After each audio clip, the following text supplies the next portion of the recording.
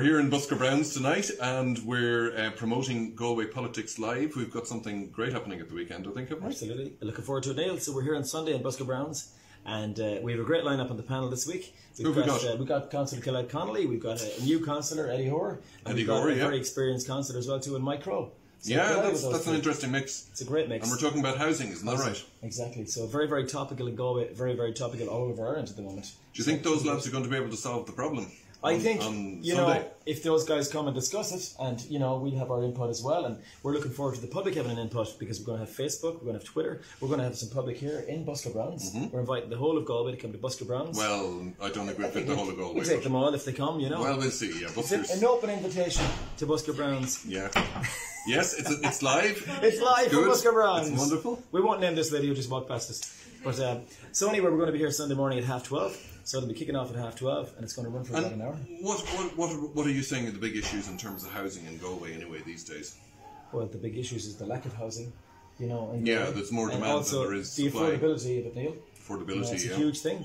Rental Um, is a big problem at the moment, isn't it? it is, Especially for students in the college. I mean, Absolutely, it's very tough. And there's an awful lot of uh, discussion about you know university um, adding to the rental sector, and there's talk about the black box. And, you know, Yeah, and there's all this, there. all these um, student accommodations being built around the Yeah. city. You know, that's going to have a big impact. But think that's mean, gonna be What about. Airbnb? Yeah, Another issue. That's true. That that they're changing the laws on Airbnb, so that's not going to be as the, the cost of purchasing houses in the city is actually considerably higher. Absolutely, and it's getting high. And of course, we know what's going to happen if the cost goes up and up and up. That bubble is going to burst, and we're going But that's crash. that's just it. I mean, Yeah. just because there are new jobs being created in the city doesn't mean that there Exactly. are decent places for people to live. And a big, big, big thing with uh, with property as well is the property tax, because obviously you know Yeah. because there's an election coming up in the next I don't know nine months. Uh, the government parties have decided not to increase it at the moment, so they're holding off on that. So we'll And is property tax fair? Is it not? Well, I don't think property tax is fair. Well, anyway, your opinion and my opinion are not the key issue here. Absolutely. Let's see We- what we'll our councillors say. panel will say that,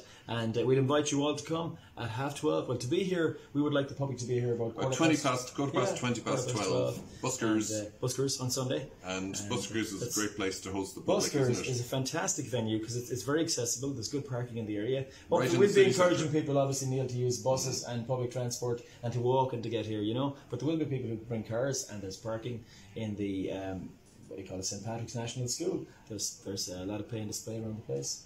You know, so, So our challenge to the councillors is not just to come up with the problems, but Come to up with look, come up solutions. with solutions Yeah. that might solve the problems. We have And- to define the problems, but come up with solutions. And, and we're both willing to help the councillors and anybody in Galway to improve Galway. And Any it's all about improving Galway. It's all about making Galway making Galway a better place. Yeah, and we're all on the same side on that one. We are absolutely, and we look forward to hosting it again. And uh, we just to let you know, we're going to have two more shows after this on the 21st and the 28th.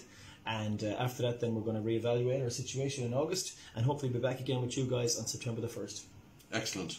Thank you, Mike. Looking forward to it now. See you then, Thank you guys. very much. See you then. Slán agus beannacht.